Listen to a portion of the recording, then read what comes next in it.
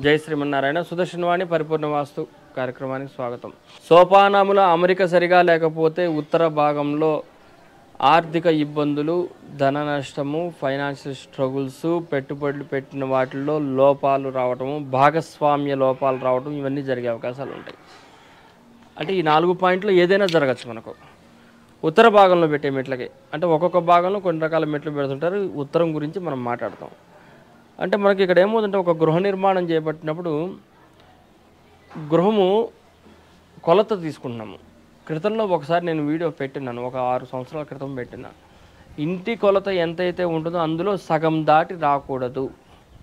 ఇక్కడ మనం జాగ్రత్తగా గమనిస్తే ఇదే ఇంటి కనుక చూస్తే ఇది మొత్తము ఇరవై రెండు అడుగులు పొడవు. వెడల్పు వెడల్పు ఇంటి వెడల్పు ఇరవై రెండు అడుగులు పొడవు ఇరవై తొమ్మిది అడుగులు వస్తుంది. ఇది మొత్తము ఇరవై రెండు అడుగుల రెండు అంగుళాలు వస్తుంది మొత్తం కొలత.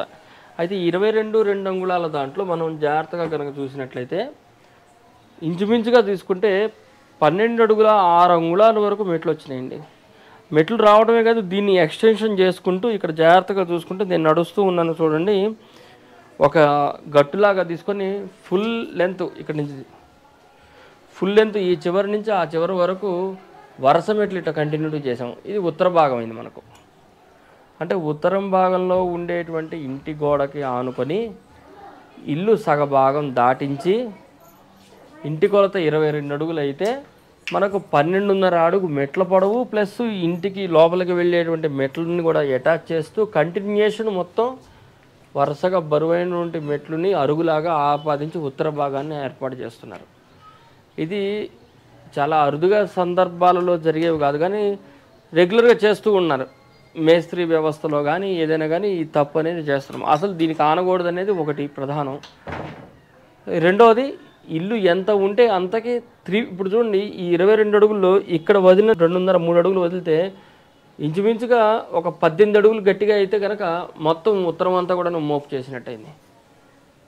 అర్థమవుతుంది కాబట్టి ఈ విధంగా ఉండటం వలన ఫైనాన్షియల్ స్ట్రగుల్స్ ఇందాక చెప్పినటువంటి విషయాలు ఏవైతే ఉంటాయి ఇవన్నీ కూడాను ఈ గృహాలకు ఆపాదిస్తాయి.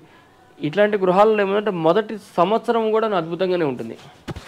మీరు కావాలంటే మీరు ఎవరైనా మన ఛానల్ చూసేవాళ్ళు కానీ వ్యూవర్స్ కానీ చెక్ చేసుకొని ఎవరింటికైనా గమనించినా వాళ్ళ ఇళ్ళైనా ఒక సంవత్సరం మటుకు ఇల్లు దూకుడు మీద ఉంటుంది.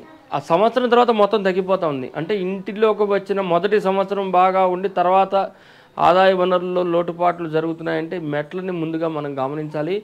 ఈ విధమైనటువంటి మెట్ల స్వరూపాలు తప్పనిసరిగా ఇంటికి ఇబ్బంది అవుతాయి ధన నష్టాలు ఇంకా చెప్పనవసరం లేదు దాని పరిస్థితులు.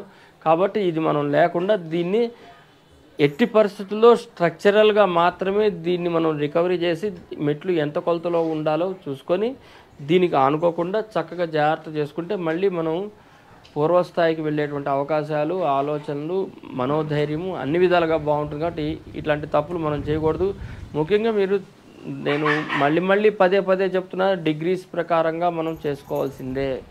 దాని ప్రకారంగా మాత్రమే చేసుకుంటే ఎట్లాంటి వస్తువులైనా గృహ నిర్మాణాల్లో అద్భుతంగా మనం ఏర్పాటు చేసుకోవచ్చు. జై శ్రీమన్నారాయణ.